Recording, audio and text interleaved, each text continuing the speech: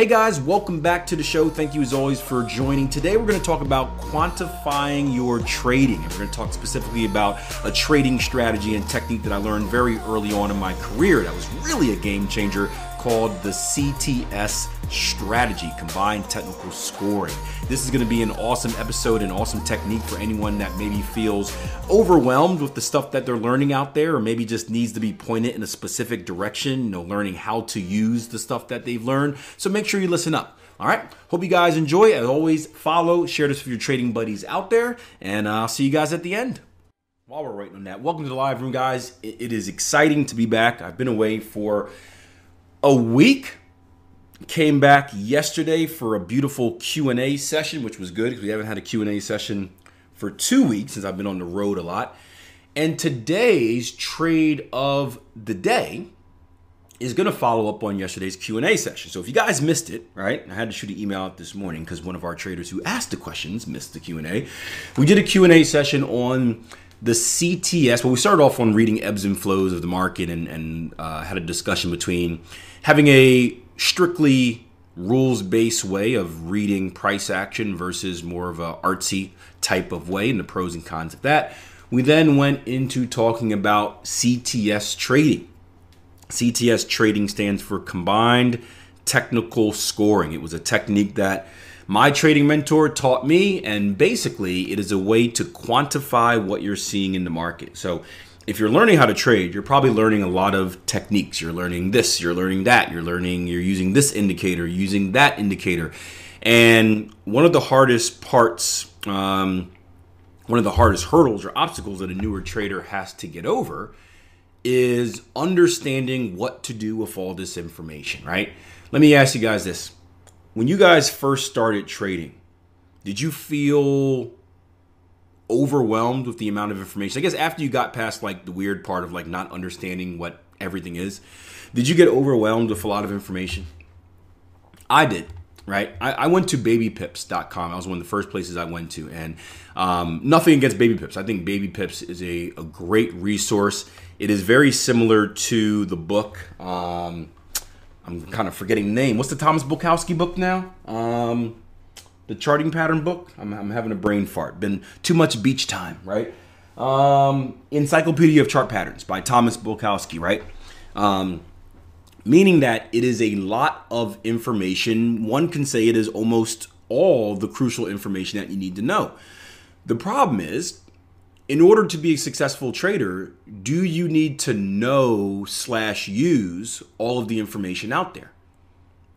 this is also one of those bigger misconceptions where it's like the smarter I get, the better trader I will become, or the more knowledge I have, the better trader I will become. It's not necessarily true. Very similar in businesses, right? If you're a business owner, the more knowledgeable you are, the more information you have, doesn't necessarily make you a better business owner. Um, you could be just as good, if not better, just being very, very good at a, a very niche type thing.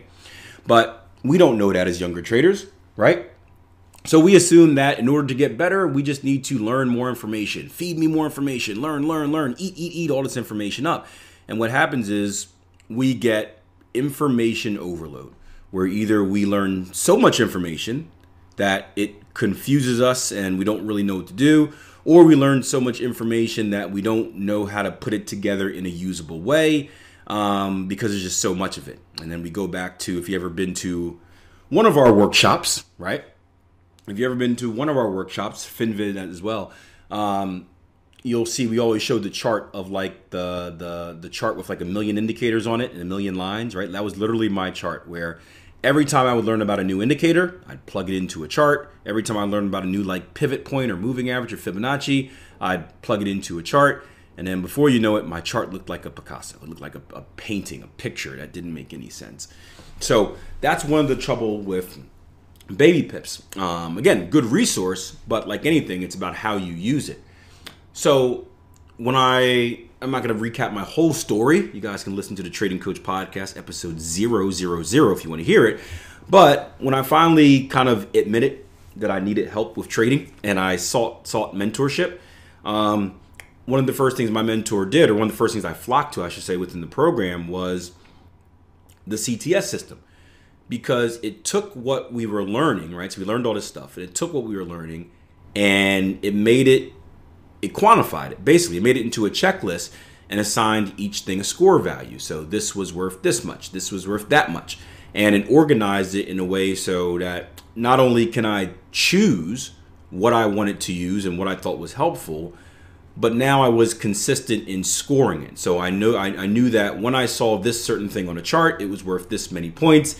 This many points equaled a good trading opportunity, so one that I can take. If I saw this and it only gave me this many points, then that was a bad trading opportunity. I couldn't take it or I had to wait for more. And it, it basically brought a method to the madness. So we call that, excuse me, the CTS system.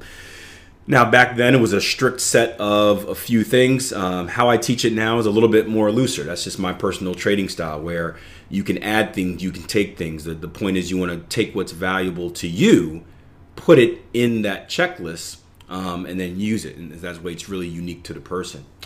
Andrew says, at the very beginning, what I found frustrating was that in the video, everything is drawn out in lines. You think, yes, I get that, but you go to the chart and it's all choppy, hard to filter through. Yeah real life charts are a lot different than training video charts. Would you guys agree? YouTube, they're a lot different than YouTube tutorial charts, right? I used to do the same thing similar with books, Andrew, where I would read a lot of books and like technical books and everything on there looked so picture perfect. Like triangles looked so beautiful and pennant patterns were so amazing. And I'd try to find them in the real charts and I'd be like, what the hell? this looks nothing like the book. But if books are picking out pinpoint, you know, the the, the best examples to show you, which isn't necessarily a bad thing. They got to teach you somehow, but um, it is good to get experience in both ways. So, CTS trading. This is a good follow up to yesterday's Q and A session. Again, if you didn't see the Q and A session, make sure you do it. Um, it, it is recorded and posted. Hope you enjoyed the episode. Again, if you want to learn more about the CTS trading, I think we have a free training session on it on our website, part of your trial membership. Just head over to www.tier1trading.com, sign up for that 14 day trial. Again, I can't remember for sure what's in all those free lessons versus the um, premium ones, but give it a try. You'll get some good lessons regardless of if it's in there or not. www.tier1trading.com. Sign up for that 14 day trial. Make yourself known on the chat, meaning introduce yourself to our traders. That way they can help you out and point you in the right direction. And I'll see you guys in the next episode of the Trading Coach Podcast. See ya.